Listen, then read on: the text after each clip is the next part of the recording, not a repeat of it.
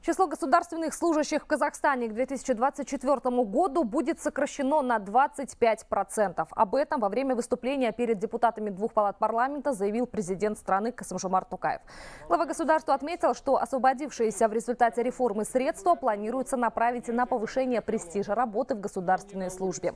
Также президент отметил о необходимости активного привлечения в госструктуры молодых людей и открытости госаппарата. Зачастую люди вынуждены обращаться к президенту вследствие глухоты и закрытости чиновников в центре и на местах.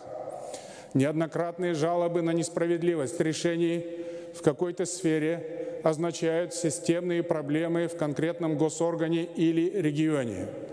Теперь к этому следует относиться именно так и принимать соответствующие решения.